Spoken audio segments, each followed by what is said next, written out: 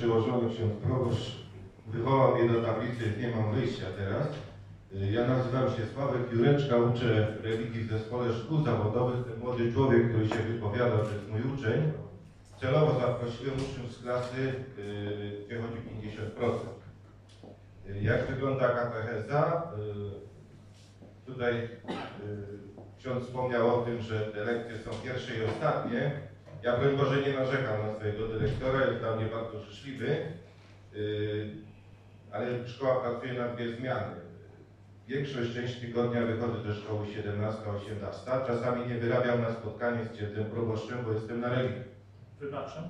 Yy, Zdarza się też, że hmm, no jest, jest, yy, jest tak, że mam uczniów, którzy przychodzą do mnie na religię, mówią tak, Panie Sławku, teraz nie będę chodził, bo nie mam dojazdu, będę chodził w przyszłym roku.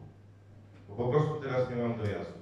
Mam taką klasę, która ma 25 osób, w tej chwili przychodzą 3, reszta jest zdalnie, bo nie ma autobusu. Ja zawsze ich pocieszam, że ponieważ nie mam prawa jazdy, ze względu na oczy, że jako katecheta jeden dzień też nie mam autobusu, do domu zawozi mnie żona, bo po prostu kończę tak późno. Tak to wygląda, jeżeli chodzi o praktykę. Y, Co mogę powiedzieć? Y, Z mojego doświadczenia powiem tak. y, Religia w szkole utraciła pewne sakrum.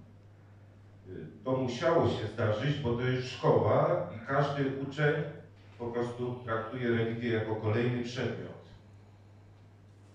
Według mnie celem dobrego katechety jest y, stworzenie tego sakrum na lekcji. Jak jest sakrum, to czy to będzie godzina 18 czy 7.10, tak też mam, uczniowie przyjdą. Bardzo dziękuję.